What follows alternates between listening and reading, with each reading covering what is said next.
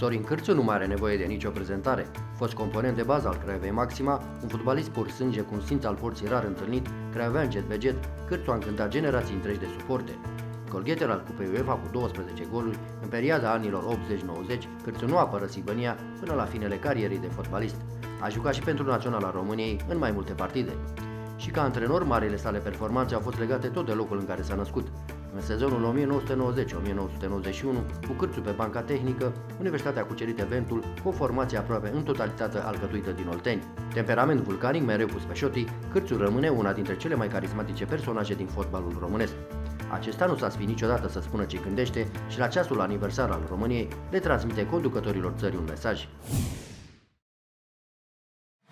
Asta își dorește toată lumea, să fie trăiască în pace. Că e mai bine, că e mai rău, dar să nu fie război niciodată. Asta. Se poate la noi, suntem așa mai balcanici. Cred că da, cred că da, cel puțin până la momentul ăsta am uh, evitat așa, să spunem, uh, confruntările astea uh, geopolitice. Nu prea mă pricep eu așa în termenii ăștia politici și nici nu mă prea bă că nu mi-a, nu mi-a plăcut politica și n-am, n-am făcut niciodată așa, am fost alt principiu. Cârțu a vorbit și despre momentele frumoase din cariera de fotbalist. A fost și primii și uh, poate prin asta am și rămas, de am și rămas atât de iubit cu impact la, la români, la, la întreaga țară. Era o echipă frumoasă. Mulți o consideră cea mai bună din istoria fotbalului românesc, din păcate fără, fără un trofeu major internațional. Da, ne-a, ne-a lipsit puțină șansă la, la momentul ăla atunci cu, cu Benfica, din păcate. Dar am spus, au, am avut multe performanțe la momentul respectiv și în, și în intern și în afara și în exterior, în fotbal internațional, care aveau uh, impact la momentul respectiv pentru, pentru spectatori, pentru, pentru cei care iubeau fotbal. Tot ce am petrecut la Craiova, 10 ani, asta ca, ca, ca fotbalist, au fost momente deosebite. Nu mi-aduc așa de vreun moment în care să fi regretat că sunt uh, la echipă, să nu fi plăcut uh, postura și poziția la, la momentul respectiv. Iar în momentul în care ești într-un loc și n-ai regrete, înseamnă că e, e bine, e frumos. Am spus, am avut 10 ani aici de, de excepție. Sorin Cârțu se poate mândri cu o viață de familie reușită.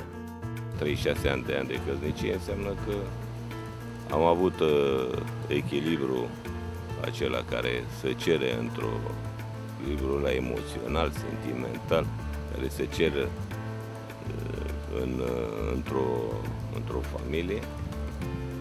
Sunt mulțumit de tot ce am realizat, de fetele mele, ce au realizat ele.